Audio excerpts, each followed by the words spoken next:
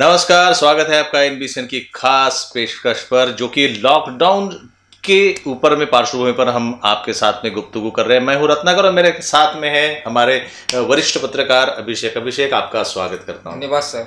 परिस्थितियाँ कुछ ऐसी विपरीत हो गई है कि जहाँ एक साल पहले कोरोना की महामारी के चलते पूरा देश और पूरा विश्व हम कह सकते हैं कि लॉकडाउन की महामारी की चपेट में था लॉकडाउन हुआ था और परिस्थिति जो है आपे से बाहर हो गई थी। एक साल बाद बीच में एक दौर ऐसा था कि जहाँ पे ऐसा लग रहा था कि परिस्थिति कंट्रोल में आ रही है और अब इन चीज़ों में कहीं ना कहीं सुधार होता नज़र आ रहा था। लेकिन अचानक से फिर से नागपुर जैसे शहर में फिर से कोरोना महामारी का कहर फिर से बढ़ गया।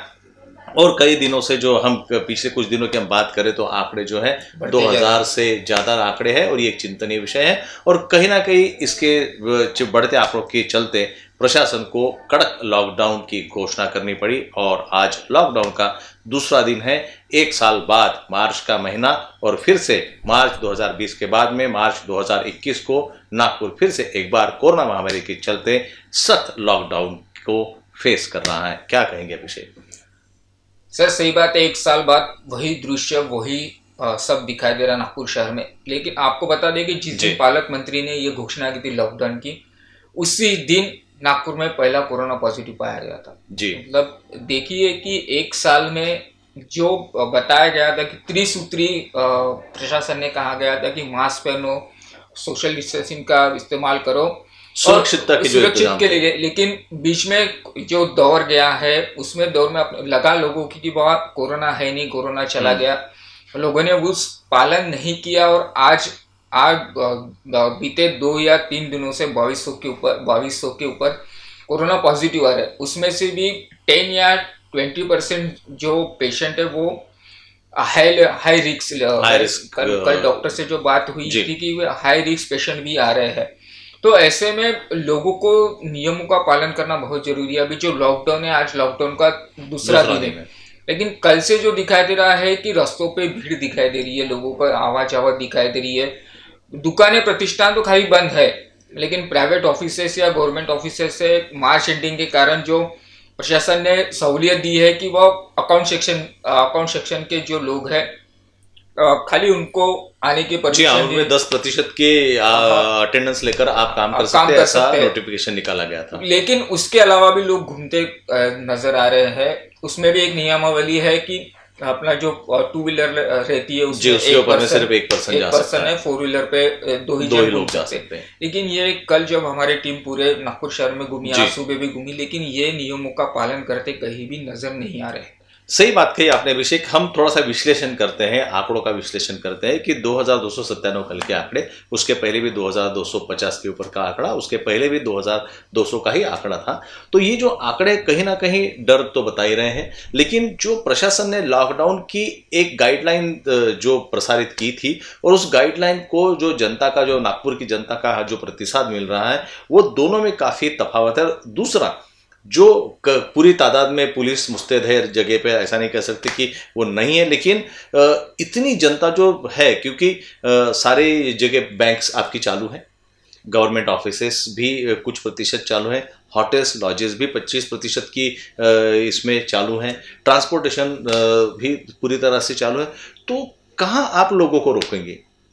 और किस वजह से हर एक व्यक्ति की बाहर निकलने की अपनी अलग वजह है। तो ये लॉकडाउन के पैमाने किस तरह से आप तय करेंगे और किस तरह से आप इसको कंट्रोल करेंगे ये इम्प्लीमेंटेशन की मैं जो बात कर रहा हूँ कि आपने लॉकडाउन घोषित कर दिया लेकिन उसको प्रैक्टिकल इम्प्लीमेंटेशन करने में आपको कितने आप सक्सेस होंगे ये बहुत ही चिंतनीय विषय है। और इसका परिणाम फिर से क्या ये आंकड़ों को कम करने पर होगा?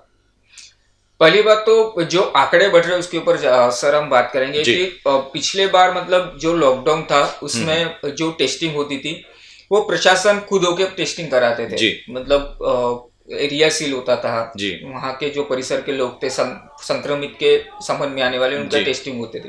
कंटेनमेंट जोन बनाए जाते थे। बीते जो 10 से 15 दिन आप देख रहे हो तो टेस्टिंग की तादाद बढ़ गई है। जी। आठ हज़ार दस हज़ार पंद्रह हज़ार ऐसी टेस्टिंग हो रही है उसकी तुलना में ये जो रिज़ल्ट आ रहे हैं बाईस सौ तेईस सौ जी। ये कम तो नहीं बोल सकते लेकिन टेस्टिंग के कारण पॉजिटिव की संख्या बढ़ती जा रही है। और ये भी एक मतलब अपन बोल सकते हैं कि ये चिंताजनक बात बिल्कुल है आपने सही कहा। अभिषेक मैं आपको इसलिए रोकूँगा क्योंकि बाईस सौ तेईस का आंकड़ा एक जो ट्रेंड चल रहा था वो था कि दस हज़ार के पीछे हज़ार का आंकड़ा जो चल रहा था तो एक दस परसेंट का जो है उसमें पॉजिटिविटी आ रही थी। लेकिन अब जो है पिछले एकदम जो आंकड़ा जो बढ़ गया। तो इस प्रोपोर्शन में आपके जो सीवियर पेशेंट्स है वो भी बढ़ गए। और डेथ ठीक है कि अभी भी फिर भी कंट्रोल में, लेकिन डेथ का आंकड़ा भी बढ़ता नज़र आ रहा है। अगर हम कल रात की अगर बात करें तो पंद्रह हज़ार, पूरे महाराष्ट्र में पंद्रह हज़ार से ज़्यादा कोरोना पेशेंट पाए गए और अड़तालीस लोगों की मौत हो गई। तो कहीं ना कहीं ये आंकड़ों को रोकना भी एक चैलेंज है प्रशासन के पीछे और सरकार के पीछे भी, सरकार के आगे भी। प्रशासन प्रशासन अपनी तौर से पूरी तैयारी कर रही है उसको रोकने के लिए कर रही है।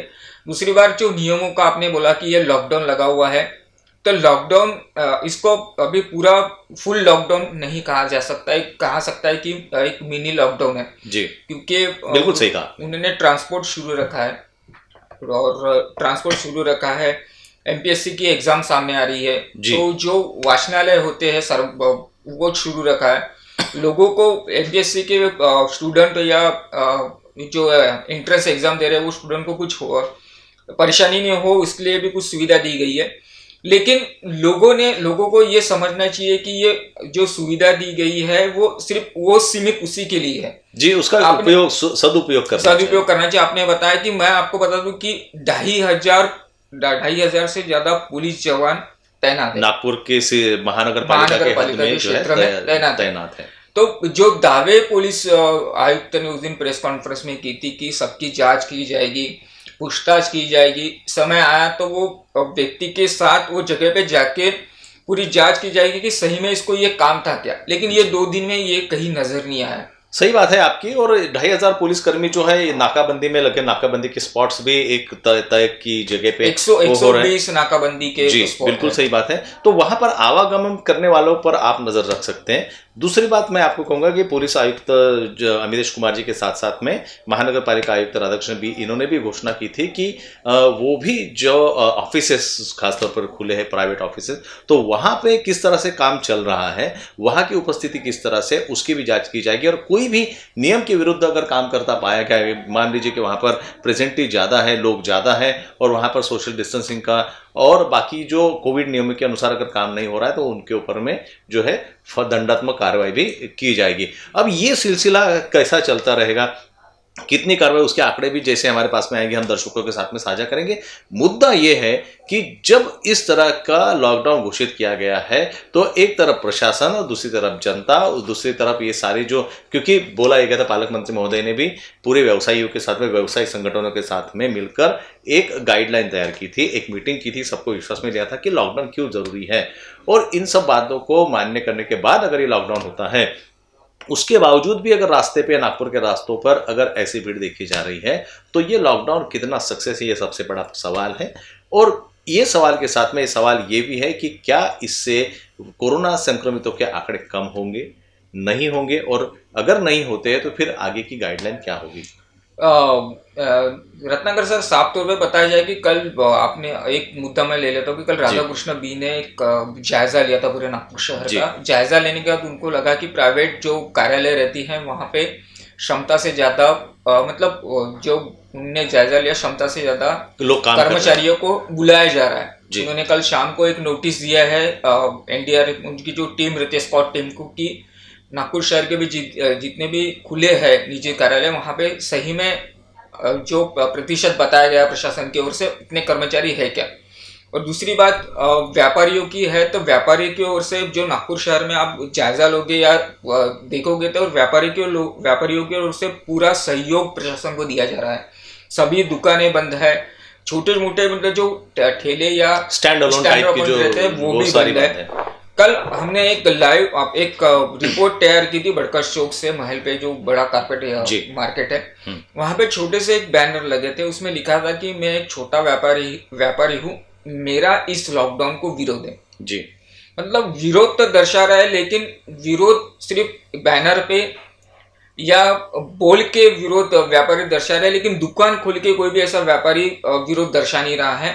लॉकडाउन के बाद भी थोड़ी सी उसमें राजनीति देखने को मिली थी कि महापौर और माजी महापौर और अभी के विद्यमान महापौर हम्म, हम्म। दयाशंकर तिवारी ने कहा था कि लॉकडाउन का हमारा विरोध नहीं है लेकिन लोक प्रतिनिधियों को विश्वास में लेके लॉकडाउन किया जाता तो अच्छी बात रही। तो अभी ये लॉकडाउन सक्सेस करना देखा जाए तो पूरी जनता के हाथ में होता है कि जो नियमों के नियम बताया गया है जो कैटेगरिया बताया गई है वो कैटेगरी पे चलना वो नियमों पे चलना। इतने इतना ही नहीं कि प्रशासन ने ये भी किया है कि अपने किसी के घर में कोई मेहमान आता है तो उन्होंने बताया कि आप खुद प्राइवेट गाड़ी ले जाने से अच्छा वहाँ भीड़ करने से अच्छा टैक्सी ओला शुरू है। वो बुक करा के उनको घर तक लेके आए उससे क्या होगा कि आप घर से बाहर नहीं निकलोगे और भीड़ ना होगी। तो प्रशासन ने आपको सुविधा दी गई है और खान खान पान की बात करेंगे तो जोमेटो जैसे जो कंपनियाँ ऑनलाइन ऑनलाइन डिलीवरी फ़ूड चालू है। और होटल्स व्यवसाय को भी बताया गया है कि 11 बजे तक आपका किचन आप शुरू रख सकते हो।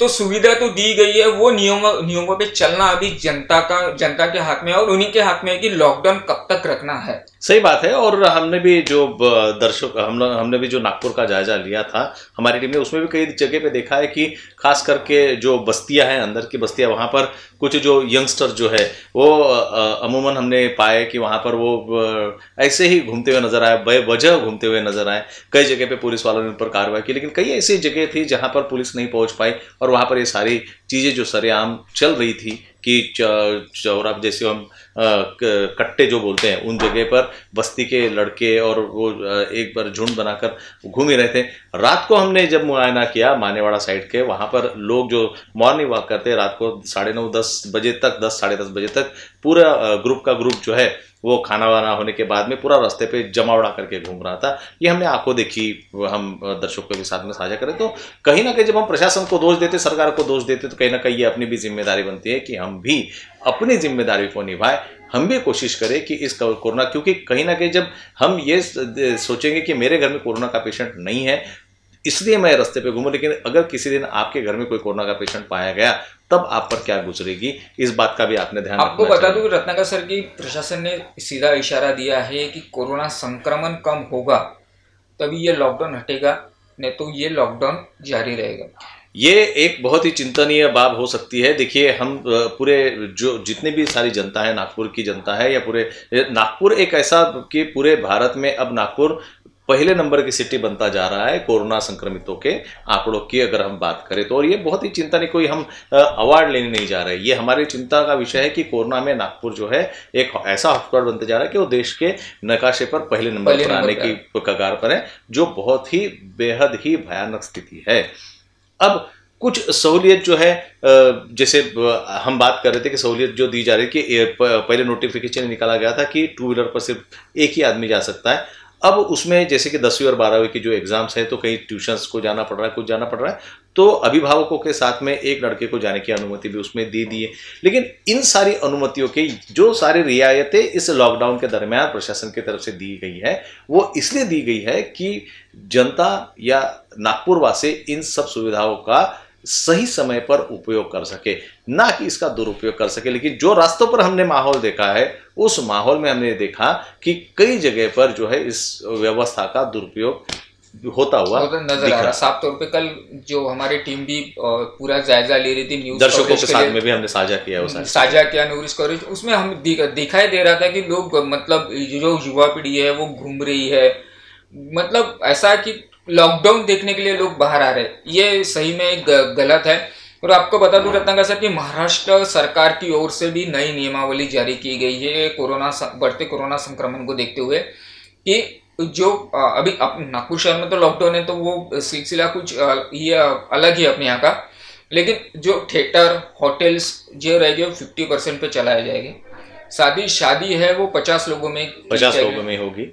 और किसी की डेथ होती है तो उसमें सिर्फ़ बीस बीस लोग ही समाविष्ट हो सकता समावेश हो सकता है। ये नई नियमावली कल शाम को जारी हुई है और साथ ही कल प्रधानमंत्री नरेंद्र मोदी सभी मुख्यमंत्री से चर्चा कर इसके ऊपर निर्णय लेंगे कि इस संक्रमण को कैसे रोका जाए। महाराष्ट्र के मुख्यमंत्री भी जो है जनता को संबोधित करने वाले हैं और और क्या निर्णय होता है इस पर भी बात आज आज दोपहर को मतलब जितने भी आरोग्य मंत्री है उनकी केंद्रीय आरोग्य मंत्री से एक बैठक होने वाली है संक्रमण को चलते। तो उसमें आगे क्या होता है और नियम कठोर होते या उसके इसमें कुछ सोल्यूशन निकलता है वो देखना होगा कि आज और कल का दिन महाराष्ट्र के लिए बहुत महत्वपूर्ण है। बिल्कुल सही कहा आपने। चलते चलते हम दर्शकों को एक बार और बता दें कि पिछला मार्च जो था 2020 का काफ़ी भयानक था। काफ़ी जद्दोजहद से हम लोग गुजरे हैं, पूरा देश गुजरा है, पूरा विश्व गुजरा है। ये परिस्थिति दोबारा ना आए तो इसकी ज़िम्मेदारी जहाँ जितनी प्रशासन के पर है, जितनी सरकार पर है, उतनी ही हम सब पर है।